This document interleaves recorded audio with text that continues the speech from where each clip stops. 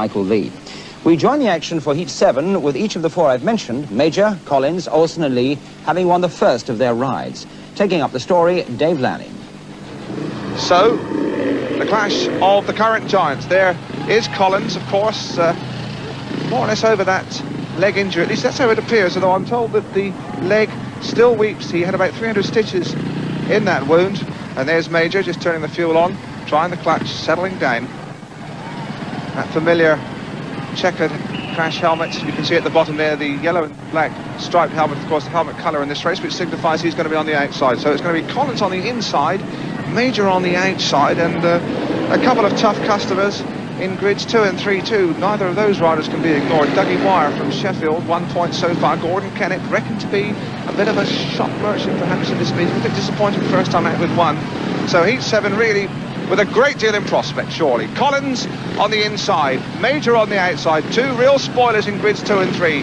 There's Pete Collins. The start's going to be so important. Can Peter Collins avenge that World Championship defeat in Gothenburg? Can he beat his old ex-teammate, his old rival, Ivan Mauger? Mauger is the one who is taking his time to settle, trying the old kidology perhaps. Collins got a quick starter, Mauger of course like jet lightning. And it's Mauger on the outside and Collins on the inside. And it's Mauger who leads into the first corner. Collins is in second place. In third place, And it is Gordon Kennett and Kennett has got the better line around the outside of Collins and Kennett's gone towering under Mauger. And Mauger wasn't expecting that. And now we've got Collins trying the inside run on Kennett. And this really is super speedway. Kennett battling back again under Collins.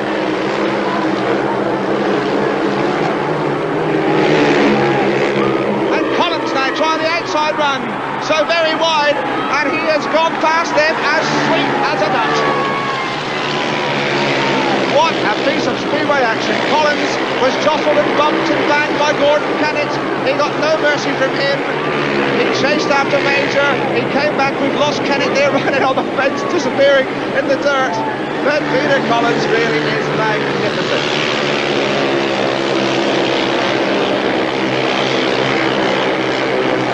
Well, we really have had about a minute of absolutely tremendous action. Nobody surely will argue with that. Collins is going to be the winner, and what a winner! Peter Collins. Second place was Mauger. He really must been wondering what hit him because they came from all directions at him there. Collins and Mauger, a happy picture. And who said in Speedway, if you miss the gate, you can't come from the back. Magnificent.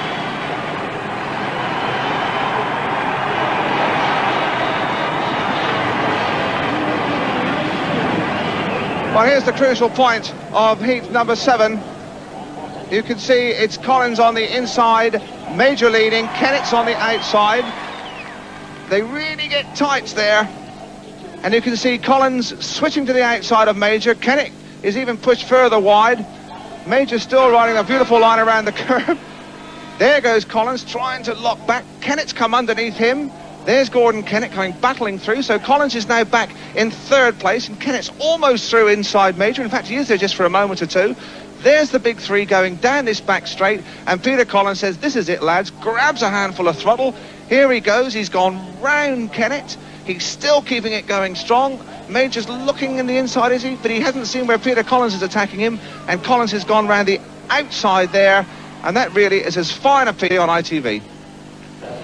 Well, there's Peter Collins and uh, describing the race there to Jimmy McMillan, and it looks as though even he was a bit excited about that. Heat number eight as we regain our breaths here at Belle Vue, Manchester.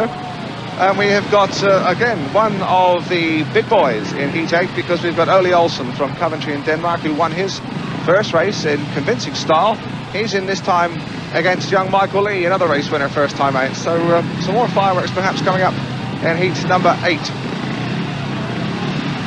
Olsen settling down there, you can see looking very, very calm and assured. Olsen on grid two, there's the full lineup. Graham Drury from Hull, well, he's uh, had a second place first time out and uh, will give nothing away. Graham Drury on the inside, Olsen in grid two, Jancarz, Edward Jancarz from Poland and Wimbledon in grid three, Michael Lee on the outside, and again, this one could be pure TNT. Heat number eight, the start is going to be important.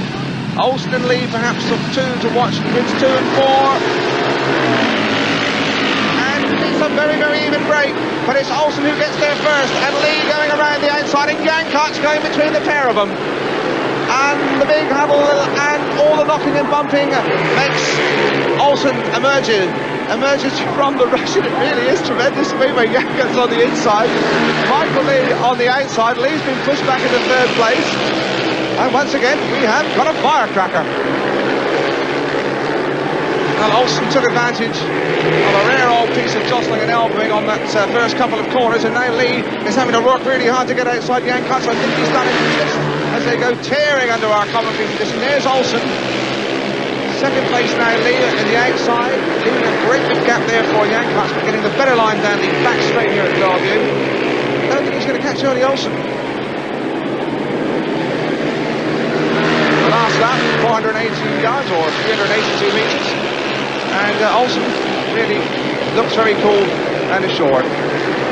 Very hairy on the first corner. There's Olsen tearing around the pit corner, Lee in the high, wide, looking for the drive, but uh, left it too late. So another good speedway race. Olsen collects the three points. Michael Lee has two. Jancarz, who really uh, got stuck into the action on the first corner. There's Olsen looking quite happy. Seems to be losing a bit of uh, oil from his silence. You can see, it looks like he's burning coal, in fact. Well, the first two corners of heat number eight really were crucial. Let's watch for Olsen in grid two, Lee on the outside, and watch for Jancarz in grid three. He's in the white helmet colour, and he really gets among them on this first corner. Olsen gets to the corner first, but Lee is in second place here from the outside. Now watch Jancarz. He grabs some throttle and dives up underneath Lee. You can see there, giving Lee a big back wheel, almost gets around the outside of Olsen, switches back in, and once again, we really had a superb piece of speedway action on those first two corners. Well, after eight heats of pretty hectic action here at Belle Vue, there's the leaderboard. Peter Collins and Ole Olsen jointly in the lead on six unbeaten. Michael Lee, Ivan Mauger, and Ila Teromaa creeping up there on equal third position, and Jimmy McMillan in the picture from Wolverhampton on four points. Lead number nine then with three of the top contestants on the inside, Teromaa. Next to him it's Lee. In grid three it is Phil Herne. And on the outside it is Peter Collins. Collins has really brought this enormous crowd to their feet with some colossal overtaking in his earlier races. Let's see if he can make this vital jump in number nine. Well, I don't think he's made it. No, he's got a terrific throttle on going around the outside. Collins didn't make the start, but get everything screwed on, and he goes into the lead. In second place, it is Lee. In third place, it is Teromaa. And Peter Collins, although he never really what you might say made the start, just kept everything screwed on. These machines, of course, 500cc Collins on a. And once again, you can see this fabulous racing track at Belle Vue. They really can have a go here. It's fair for all. It's not just a test of machines. It's a test of men and courage and reflexes and ability. And uh, who's to say that Peter Collins isn't the master with everything in his favour? It looks like back wheel almost gets around the outside of Olsen, switches back in, and once again we really had a superb piece of speedway action on those first two corners. Well, after eight heats of pretty hectic action here at Belle Vue, there's the leaderboard. Peter Collins and Ole Olsen jointly in the lead on six unbeaten. Michael Lee, Ivan Mauger, and Ila Teromaa creeping up there on equal third position, and Jimmy McMillan in the picture from Wolverhampton on four points. Lead number nine then with three of the top contestants on the inside, Teromaa. Next to him it's Lee. In grid three it is Phil Herne. And on the outside it is Peter Collins. Collins has really brought this enormous crowd to their feet with some colossal overtaking in his earlier races. Let's see if he can make this vital jump in heat number nine. Well, I don't think he's made it. No, he's got a terrific amount of throttle on going around the outside. Collins didn't make the start, but get everything screwed on, and he goes into the lead. In second place, it is Lee. In third place, it is Teromaa.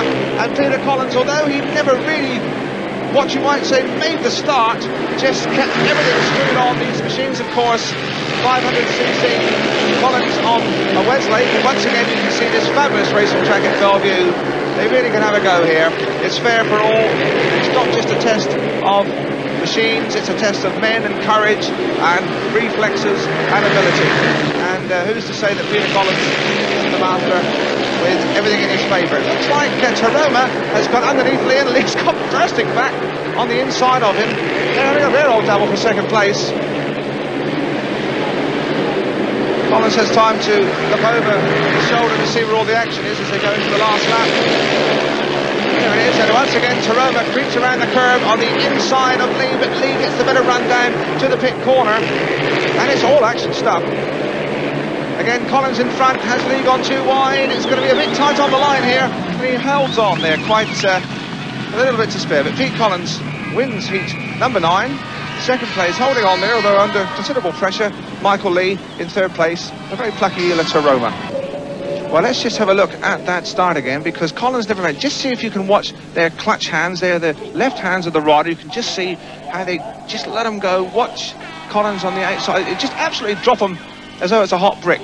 Peter Collins, yes, well, he just infinitesimally got the run up to the corner and kept everything screwed on around the first turn. Lee is in second place. Teromaa nips smartly round the curve in third place, but Collins really getting a measure now of this BLRC.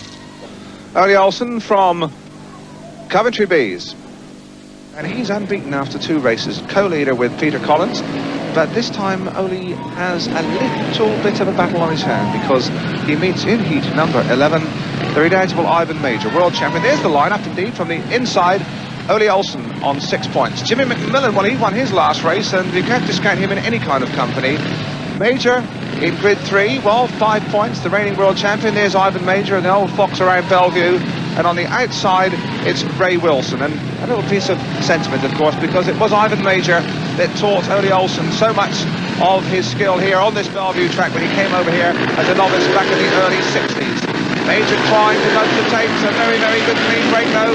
And it's Olsen and Mauger, and Mauger goes across so bravely there, but leaves a gap. Olsen gave him a nudge, and Olsen is going to come out in front, or is he? No, Mauger has got the better line. Ivan Mauger on the outside, Olsen on the inside, and Olsen really took his front wheel away from him then. Absolutely no mercy at all, and Olsen and Mauger are again having a tremendous battle there. There's Olsen, there's Mauger. In third place, it's a very old battle. Jimmy McMillan creeping up into the picture now. And Mauger now has got Jim McMillan right up his exhaust pipe. And Ray Wilson's not far behind either. And they're ducking and diving about all over the place here at Belle Vue. Olsen's established his lead, but uh, Mauger has got Jimmy McMillan coming around his outside. Shuts the gate on him as they go into the last lap. You can see there Olsen flying through trade. Olsen, Mauger, McMillan, Wilson. They're very, very close, aren't they? Considering it's a big track and they're going flat out for four laps. Olsen wins that one. Mauger is second. In third place, it was McMillan. But once again, some pretty ruthless old speedway from Ole Olsen. Really neat took Ivan Mauger's front wheel away from him. So let's have a look at that crucial first lap of heat number 11. Remember, Olsen is on the inside and Mauger is in the white helmet. You can see it is Olsen on the inside, but Mauger just fractionally gets to the corner ahead, comes chopping across, shuts down, then misses the corner completely. Olsen locks back on the inside. Wilson's on the outside as well. They're in yellow and black. But you can see Ivan Mauger clearly has the better runner, though he's a length or two back here. Keeps it all screwed on. Goes down into the pit corner. Let's just see how close they get as they come out here, because it looked like Ole Olsen really chopped into pieces. Mauger on the outside. Olsen on the inside. Now let's watch and see Olsen on the inside there. He straightens up. He comes straight across. How close did they get? Well, there wasn't a lot of room, was there? Olsen merciless. And there he is looking a good bit more relaxed. So he should too, with three wins to his credit, but he's still got to meet Peter Collins. 12 tremendous races here at the British League Riders Championship final. The riders have each completed three rides, and that is the really interesting situation at the top. Peter Collins and Ole Olsen, the big guns, unbeaten on nine points apiece. Then we have Michael Lee and Ivan Mauger, the old fox and the new whiz kid, on joint third place on seven apiece. And then we have two of our continental chums who are poking their noses in the picture, Edward Jancarz and Ila Teromaa on six apiece. The lull surely before the storm in heat number 14. Aldi Olsen in white, Peter Collins in yellow and black. They're both unbeaten. This is their penultimate ride. They've got Dave Jessup in there in blue. Collins and Olsen, this surely will be the race to decide this 1977 BLRC, British League Riders Championship. with Olsen and Collins, both unbeaten. And this is truly the clash of the giants. Heat number 14, the one that surely will decide this British League Riders' Championship crown. Billy Sanders on the inside, Dave Jessup in grid two, but there are the two big guns. Ole Olsen in white, Peter Collins in yellow and black. They're both unbeaten. They both have comparatively easy passages in their last ride. This is their penultimate ride. They're settling down. Collins has been electrifying from the back. Olsen, of course, such a tremendous stylist, whether up front or from the back ruthless in his style, ruthless in the way he passes. He gives absolutely nothing away. So heat number 14, let's watch this outside. Olsen White, remember, Collins on the outside in grid four. Looks like Olsen and Collins have got out together and Olsen gets to the corner first. Collins is back in third place going around the outside of Dave Jessup and now Collins chasing after Ole Olsen. What can he possibly pass the Great Dane? And he's going around the outside and... Oh, Olsen has shut the door there, so can switch the inside. And he's going like a steam train. Olsen has gone around the outside of him. And really, this is absolutely first rate speedway. You just cannot take it away from these two riders. They're having the most colossal battle. Olsen leads. Second place is Collins. Let's just sit back and enjoy this tremendous action.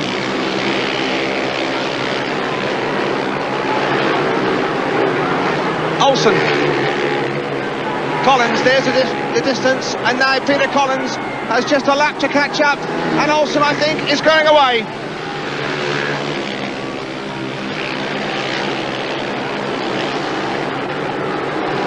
So Ole Olsen has held off the challenge of Peter Collins. I don't think PC is going to get up now. And that really has been masterly speedway from Olsen. You've got to take your hat off to him.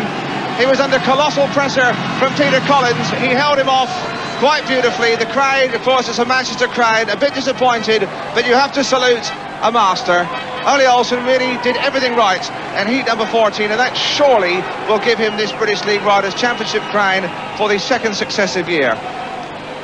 Olsen then in the white helmet colour, Collins on the outside, this intriguing battle for heat number 14. You can see the start, a pretty even break. Olsen, though, the one who gathers the most revs up to the corner. He gets there first. Collins is in second place. Jessup has made a run around the inside, but it's Olsen quite clearly as they go down the back straight. And now Collins knows he's just got one man in his sights. He goes right out wide into the dirt to try and take him in one fell swoop.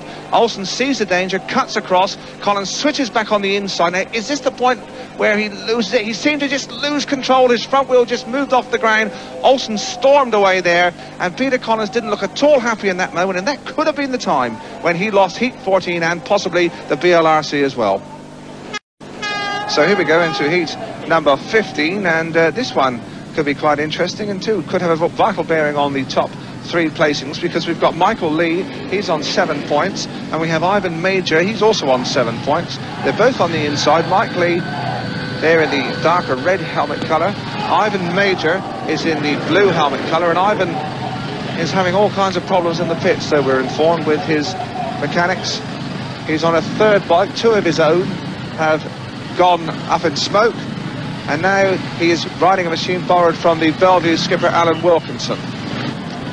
Mauger bursting out of the pits there as the Warriors all wander out to have a look at the action in heat number 15 and it should be quite a fair bit of action too because Mauger has got seven points on that borrowed machine there in grid 2 Michael Lee too has seven points and they're both in contention certainly for a place in the frame.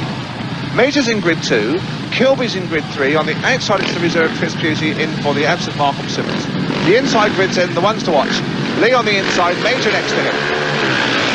And oh yes Mauger anticipated that one well Mauger it is who leads. In second place, coming around the outside, it is Kilby. As they all pile up at the back there, it's Lee and Kilby in second place, but Mauger in front.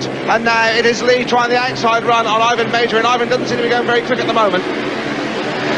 They really are piling up into a heap as Ivan Mauger on this borrowed bike tries to stretch them. And as he goes around mid-track, it is Lee on the outside, and it is now Pusey who's got up into third place. And once again, we have really some remarkable action as Michael Lee storms around the outside.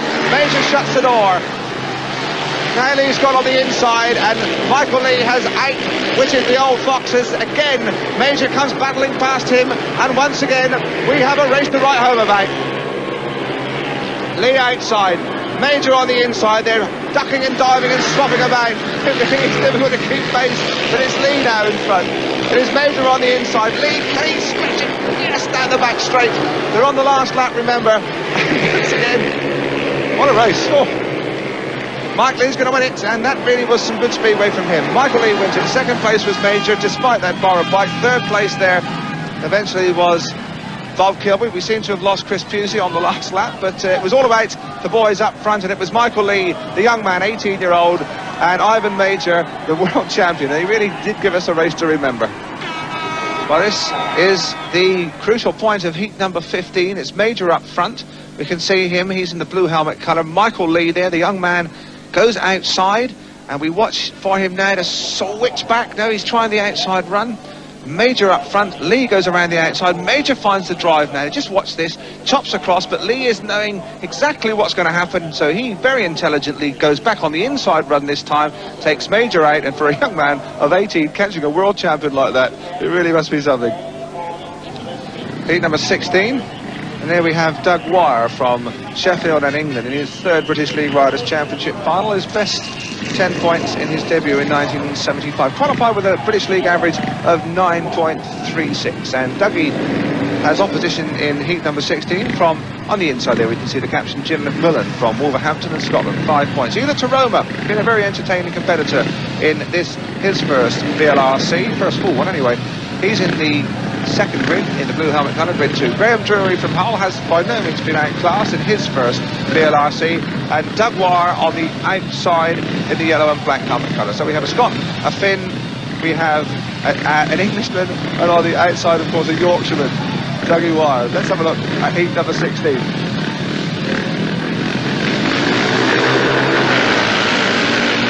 And it's Wyer from the outside who goes across.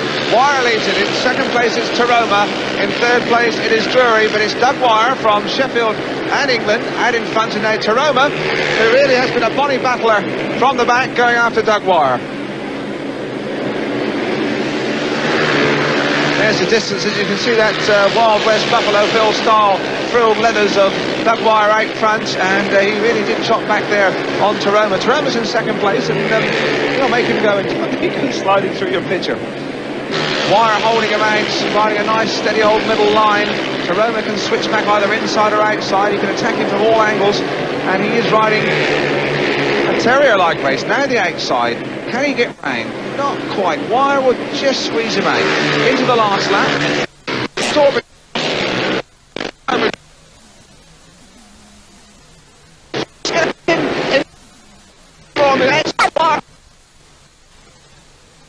Teromaa has ridden round him, and again, a really piece of textbook speedway racing. Ila Teromaa from Leicester in Finland took four laps, waited on, took his time, waited for his moment and stepped in. Really was some intelligent and very, very absorbing speedway from Ila Teromaa. They've got one race left apiece, and there we can see clearly now Ole Olsen from Coventry, the hot favourite. He's on 12 points, unbeaten after four races. Peter Collins in second place, Michael Lee in third place. Then we have Ivan Mauger and the big surprise packet here, Ila Teromaa, jointly in fourth place. Ole Olsen just four laps away from his second successive British League Riders' Championship title being pushed off for a heat number 17. Ole, the Great Dane from Coventry, is his seventh British League Riders' Championship final, actually. He's the current holder, won it last year with a maximum. He scored maximum points too, winning it in 1972. So he's on a maximum here and a hat-trick of maximum wins here at Belle Vue, Manchester. Finished third, of course, in the World Championship final in Gothenburg, reckoned by many to be a bit unlucky not to have won the world title. So he's 17, Ole, well, really ought to have it stitched up because he's got Phil Herne on five points on the inside, Doug Wyer on the outside of him in the white helmet colour, he's on five, Bob Kilby on six. Well, all of those three opponents must be looking at heat number 17 in hope rather than expectation. Olsen the rider to watch in grid two in the blue helmet colour, needing a win here to wrap up the 1977 BLRC, and he has made the start and gets to the corner first, although the field and pack are snapping at his heels. He's stretching away down the back straight. In second place, it's Kilby. In third place, it is Wyer. But now Ole Olsen with his vast horde of Coventry fans to support him is on his way surely to a win in the British League Riders' Championship final stretching them out there down this back straight. There goes Ole Olsen, number eight on his back, looking for a maximum 15 points in this Belle Vue BLRC. He really has ridden superbly well, flashing into the first and second corner, looking very, very comfortable indeed. Riding, of course, one of the Czechoslovakian four-wheel Jawas. And uh, Ole must like ITV cameras because, of course, we saw him last time we had Speedway on ITV in the Grand Prix final at White City, and he won that one as well. Well, this looks like it's going to be Ole Olsen's third win, but he's still a bit short of the record at this. Our old mate Barry Briggs has won it six times. But Olsen going around the last corner, over the line, for a really most convincing and impressive win. Ole Olsen has beaten them all.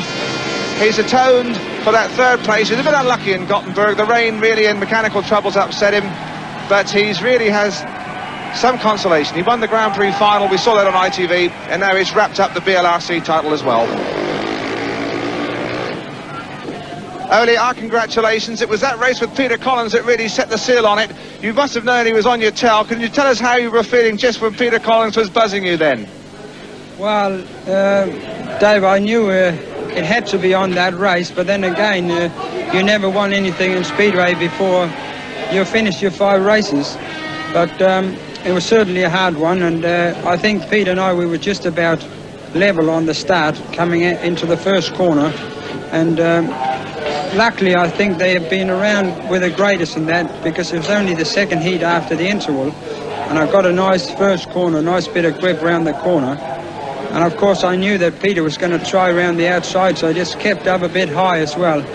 And uh, I felt quite good. I didn't, I didn't, I concentrated solely on, on, on racing the heat all on my own. I didn't really know where Peter was at, at any particular time. And there's the official result that confirms a win for Ole Olsen with 15 points, a maximum, only one points behind him in second place, Peter Collins.